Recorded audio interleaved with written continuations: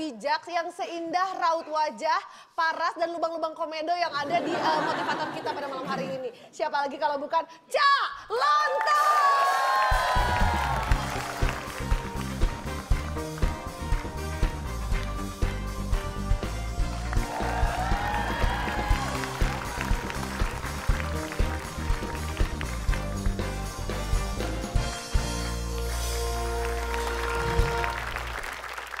Apa kabar semuanya? Baik. Sama. Ya. Di sini yang hadir di studio sudah ada sepertinya ada beberapa wajah-wajah baru loh, Cak. Eh, Halo, siapa? David. Wah. Mana gue lihat? Oh, David. Iya lihat. Ini teman saya David datang mau minta motivasi dari calon tong. Silakan, Jadi, silakan. jadi begini Bung Cak Lontong. Saya ini kan pernah ikut kompetisi stand up comedy. Tahu saya. Tahu ya? Tahu. Terus saya juara satu tuh. Tahu. Nah yang saya kesel, kenapa sekarang juara duanya lebih terkenal dari saya? Tahu. itu masalah. Dia mau cari solusinya ke sini. Ya, tapi saya juga tahu itu. Gimana tuh Cak solusinya? Padahal pada saat kompetisi itu saya bercerita soal gimana susahnya saya menjadi tukang ojek. Sampai mengantarkan saya menjadi juara. Sekarang begitu udah juara, kenapa? Dia yang jadi tukang ojek. Oh iya iya. Oh iya dia oke. Saya tahu Dia ya. oke Jack ya Pak ya? Iya. Si Abdur Yang ya? anda maksud si Abdur. Betul sekali Pak. Dulu dia juara dua, anda juara satu. Dulu anda mengantar anda juara itu beatnya tentang Tukang susahnya jadi tukang ojek. Betul. Kok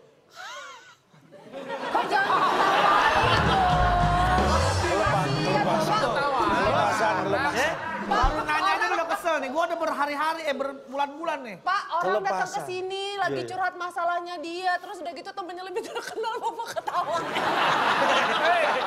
Eh, Pak, gak usah juara duanya, Pak. Hah? Gak usah juara duanya, Pak. Finalisnya aja lebih terkenal, Pak, dari juara satunya, Pak. Pak, finalisnya lebih terkenal, Pak. Jangan patah semangat. Terima dengan lapang dada. Kita bahas tentang lapang dada ya. Ya. Menurut Kamus Besar Bahasa Indonesia, lapang dada itu apa ya? Berasa lega. Jadi Ya. kalau Anda lalu itu dengan ya itu tadi, tidak ada beban, merasa bisa menerima senang hati, nggak akan ada masalah.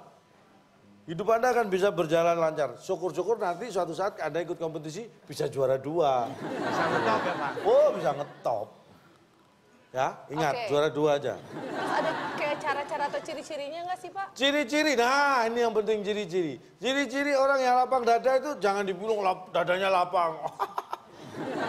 Jok apa itu? Weh, weh, beda nih sekarang. Terus Jok. gimana Beda dong. lapang dada tuh? Ada empat ciri. Eh, Saya sebutkan tiga aja. Kenapa Bapak katanya ada empat ciri? Oh, saya sebutkan Kenapa tiga. cuma disebutkan Karena tiga? yang empat sama dengan yang tiga. Iya. Salah. yang empat sama dengan yang dua.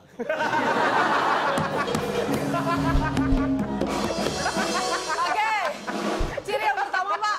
Nih, nomor ciri, satu, Pak. ciri pertama orang yang lapang dada itu dia suka marah tapi jarang marah-marah. Terus gimana caranya coba? Nah gini, kalau dia marah itu marahnya dipendam. Nggak dikeluarkan, jadi jarang marah-marah. Jar- tadi Jadi kalau marah. toh dia marah-marah itu hanya pas marah. Ya Jadi iya. kalau ada orang yang marah-marah pas marah, itu ada kemungkinan dia lapang dada. Karena dia marah-marahnya hanya pas marah. Kalau nggak marah, nggak marah-marah. Gitu loh. Ya iyalah Pak. Terus yang kedua, Pak? Yang kedua, kalau ada masalah pintar menyembunyikan. Misalnya masalah masalah gampang ya, cicilan, Iya. Iya. ditagih, Iya. debt collector. Anda pintar menyembunyikan diri. Kalau ada masalah, pintar menyembunyikan. Itu ngumpet namanya. Lah, ngumpet tapi kan bersembunyi dong, ya Pak ya? Hmm.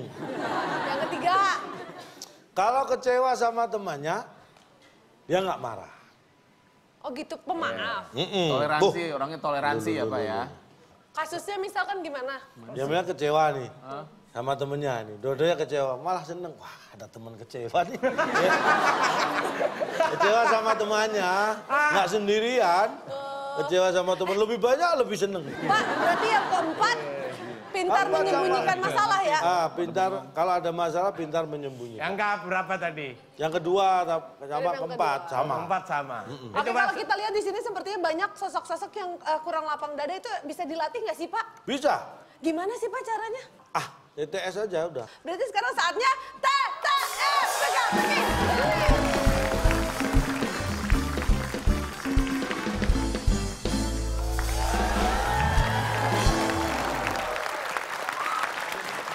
Baik, di sini sudah ada, ini baru ada tiga orang peserta nih. Ini juara satu, juara dua nih Pak. Waktu Bang Akbar juara satunya siapa? Rian bener Rian, namanya. Rian. Tuh, buktinya lebih ngetop Bang Oh, Akbar. oh. Uh. Soalnya Riannya ke Amerika. Lebih ngetop lagi. Gak usah jauh-jauh ke Amerika deh, buat pemirsa yang ada di rumah gak usah jauh-jauh juga ke sini karena punya kesempatan yang sama untuk mendapatkan 500 ribu rupiah persembahan dari WIB. Iya. Caranya gimana, Cak? Cukup dengan menjawab pertanyaan saya. Jawabannya ada lima kota, huruf kedua U. Tidak makan, tidak minum, namanya lagi titik, titik, titik. Oke, ti- tidak makan, tidak minum, namanya lagi Titik, titik-titik, titik, lima kotak, huruf kedua U, kirimin ke @wib underscore net, dan jangan lupa pakai hashtagnya WIB underscore Lapang dada. Karena nanti yang menjawab paling cepat dan juga paling tepat akan mendapatkan 500 ribu rupiah dipotong pajak persembahan dari WIB. Baik. Sekarang kita ke peserta yang di studio. Ini bedu kayaknya sendirian ini ya. Seperti biasa saya sudah menghadirkan ini eh, untuk mendampingi, untuk melengkapi Kabedu. Kita hadirkan aja langsung. Oke. Inilah dia Sila Purnama.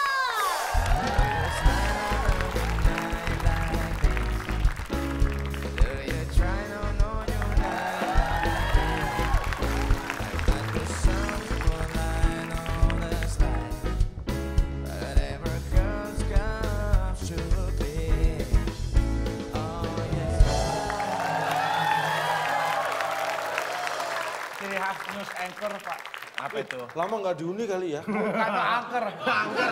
Itu angker. Sheila pertama kali ikut TTS. Iya. Ada kotak kosong diisi sesuai pertanyaan kita. Satu jawaban benar nilai 100, jawaban salah tidak mendapat nilai. Tidak menjawab berarti tidak tahu. Mengganggu ketertiban kuis dikurangi 50. Apa hadiahnya? Pengen tahu? Hadiahnya Ini dia. Silakan Bung Bung Alex. Alex. Teka-teki sulit dan kuis psikologi sebagai rintangan Anda. Bila berhasil, hadiah Bunga Bang yang dipersembahkan oleh Bapak Budi. Bapak yang baik hati. Silakan bawa pulang. Siapa Pak? Kayak bener dia Pak. Pak Budi. Namanya Pengusaha apa dia Pak? kaya dan baik hati. Kayaknya pengusaha ini apa? Bongkar muat ya? Pengusaha cangkok rambut. Pernah jadi camat, jadi tukang tahu bulat. ya namanya orang merintis karir kan bisa macem-macem. Makanya harus Ini semangat teh loh. dong. Oh teh. Simpenannya itu T. Wih Ih, hebat. luar triliun, Pak. 30 ribu apa? Oke, kalau gitu Banyak, banyak. peserta juga harus semangat. Kita kasih semangat. Ya, Ayo Sila. ini dia TTS kita. Set. Oke. Kita beri kata bantu lapang dada. Oh, nomor lima. Lapang Dada. Paham. dada. Wih ngepot, ngepot, ngepot. Kita mulai dari tim yang mana dulu nih, Pak? Karena dada mengandung huruf D, kita beri kesempatan David terlebih dahulu grupnya. Pas nih. Tim B silakan mau pilih. Kita nih kan gemar sepak bola nih Pak, dua-duanya nih. Jadi Ya. kalau sepak bola biasanya yang nomor yang pilihan, ya nomor yang jadi idola itu nomor Sembilan. 9. Sembilan. Angka tertinggi yang dipilih. Iya, enam Siapa tahu kotak. ini keberuntungan. Ah, Sip. ini Sembilan. ada enam kotak huruf A di kotak keempat. Sembilan mendatar. Pertanyaannya, kalau Anda sering nonton film Popeye, Oh sering dong. eh, Tom and Jerry, Sering. Sering. eh, SpongeBob, SpongeBob, Sering. Anda kerjanya kuliah nggak sih nonton film? Ya kan. Katanya mahasiswa. Iya Pak, nonton semua. Oke, Baik, nomor sembilan. Sembilan. Enam kotak huruf A di kotak keempat. Tokoh Popeye, kalau kita sebutnya Popeye, Iya. Popeye itu digambarkan sebagai seorang Pelaut ya Pak. Arahnya nih arahnya pelaut. Arahnya pelaut. Popeye si pelaut. Eh, nggak tahu sih setahu saya Sailor Man. tok, sebentar Pak. Tokoh pop. Eh, Oke. lelaki. Lelaki kita kunci.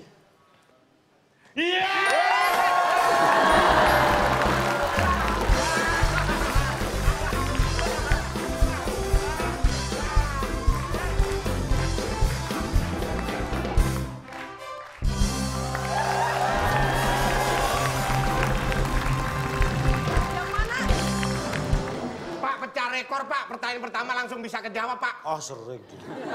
Saya aja bisa jawab, masa kamu nggak bisa jawab? Pak, tapi saya juga heran, Pak. Enggak. Bapak tahu dari mana Popeye itu lelaki atau enggak? Kan dia kartun, Pak. Kartun. Pacarnya dia namanya? Olive. Ah, saya Popeye nggak tahu laki-laki atau perempuan, tapi saya tahu Olive itu perempuan. Tahu dari mana? Karena dia pacarnya Popeye. Hei, enggak Pak. Saya kan, ya saya sih alhamdulillah ya bisa jawab. Tapi ini yang menarik Pak. Bapak tahu dari mana Popeye laki-laki atau perempuan? Kita kan tahu Pak kalau manusia dia laki-laki atau perempuan. Popeye kan kartun. Olive pakai pakaiannya pakaian laki-laki apa perempuan? Perempuan. Perempuan. Pakai rok. Pakai. Popeye pakai rok nggak? Enggak Enggak. pakai. Popeye pasangannya Olive. Olive-nya perempuan. Perempuan. Kira-kira Popeye berarti? Laki-laki. Pak, Ini atau... pakai celana juga perempuan. Pak, Pak. Eh, karena sedang pakai celana aja. Biasanya saya yang pakai rok. Masa bapak pakai Kalau abang dia lelaki, bapak berarti tahu dong usianya papa itu berapa? Yes. Kalau masalah usia saya tidak tahu persisnya. Tapi setahu saya pada tahun 1602 itu VOC mendarat ke Indonesia. Iya. Terus hubungannya Hubungan sama yang Popeye laki-laki Terus yang bawa kapal VOC si Popeye. Hah? Hubungan sama Popeye apa? Saudara, kan sepupu, pelaut. ponakan? Popeye kan pelaut. Pak, VOC datang naik. Pelaut itu perempuan.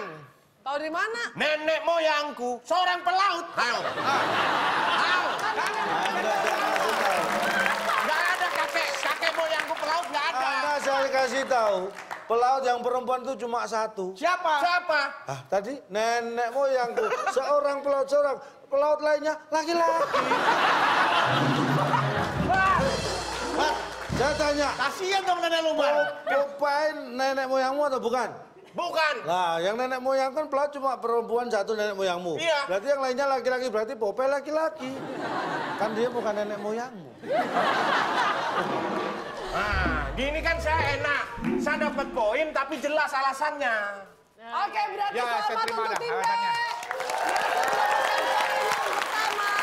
Saya ini orangnya gengsian, Pak. Kalau dapat poin tapi nggak jelas alasannya mending saya buang dah. Berarti sudah puas ya. Oke, baik kita kasih nih. semangat Pak. supaya tim A bisa menjawab juga dong.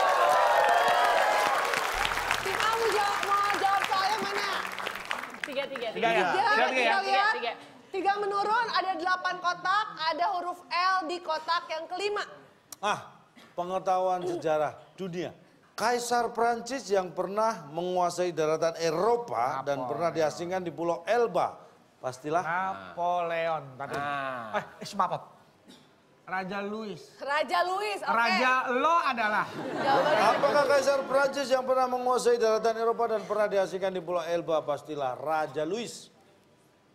sayang sekali tim B. Masa lalu Pastilah masa lalu, Pak.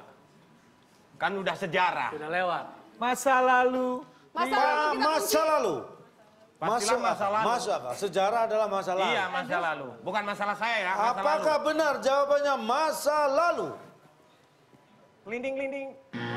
sayang sekali tidak ada yang bisa Boleh jawab nggak Pak? Boleh pulang juga boleh. Tapi nggak dapat poin.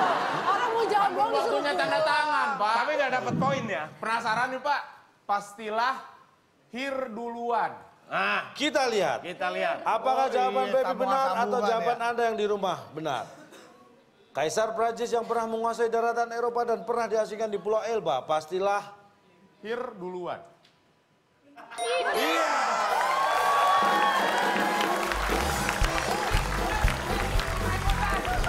Ngapain dimusikin? Nggak ikutan. nggak apa-apa lah itu Menghargai, memeriahkan. menghargai. Kasih Bapak- semangat dong buat Kak Pepi. Pak ini ada host nih yang maksudnya secara pengetahuan dia pintar. Coba. Eh, menurut Anda saya Hus, hus, hus, Bapak. saya lahir duluan dibanding dia. Dia tahu. Lagian Pak itu kalau untuk berita juga materi berita nggak enak Pak. Coba Sheila kamu bacain eh, Kaisar ini lahir Iya. duluan secara materi beritanya. pemirsa, gitu. Pemirsa. Pemirsa. Pemirsa ini nih lahir duluan maksudnya. Seorang kaisar Prancis dalam sejarah. Nah, coba. nih. Coba. Seorang kaisar Prancis eh, dalam sejarah tercatat lahir duluan. Mana enak?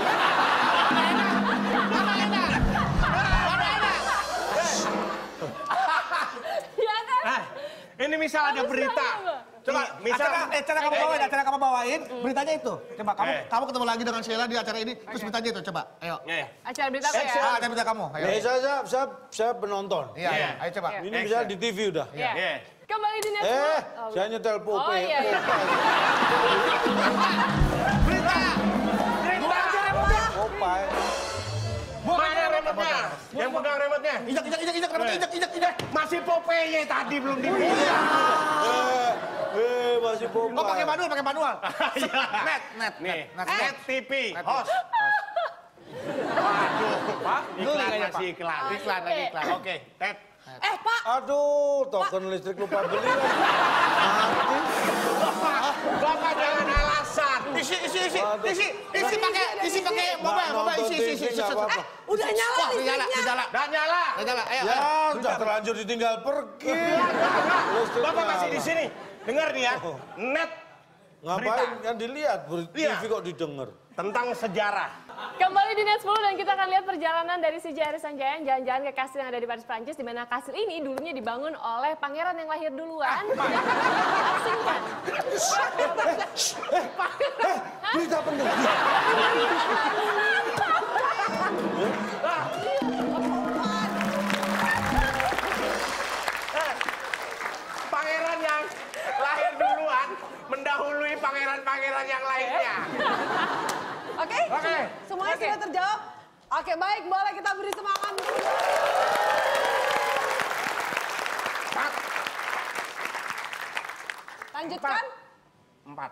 Empat. Ya. Empat lihat. mendatang. Ada tujuh kotak, huruf A di kotak yang keempat. Hmm, gampang banget. Suka musik? Suka. Nanya yang mana? Suka. yang mana? Semua orang suka musik. Band-band tahu band-band Indonesia aja lah. Berarti pasti bisa menjawab. Ya. Ian Antono, Ya. Dewa Bujana, Ya. Abdi Negara Ya. adalah tok, contoh beberapa nama titik titik. Nama Jawabannya? Nah, Bapak adalah contoh beberapa nama nama top. Nama-nama top. Baik. Wah, Oh, disimpan gitarnya. Disimpan. Belum dimatiin, Pak. Volumenya, Pak. Pak, nanti kan main lagi. Tak feedback Pak. Nama top. Nama top. Apakah Nama- itu nama jawabannya? nama nama top. Ya. Bukan. Saya. Oke, tim A silakan. Jawabannya Ian apa? Antono, Dewa Bujana. Dewa Bujana, Topati. Topati. Abdi Negara. Abdi Negara. Itu adalah contoh-contoh nama. Contoh-contoh nama ada A-nya. Ada A-nya. Kita lihat. A D A Apakah benar? A N Y A. Ada A-nya. Kita lihat. Apakah Ian Antono, Dewa Bujana, Topati, Abdi Negara adalah contoh-contoh beberapa nama ada A-nya. A-nya. Setelah yang satu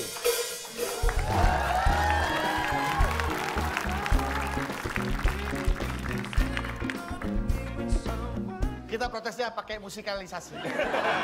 Biar kayak lalalen. Hei calon tol, ini tidaklah benar. Jawabanku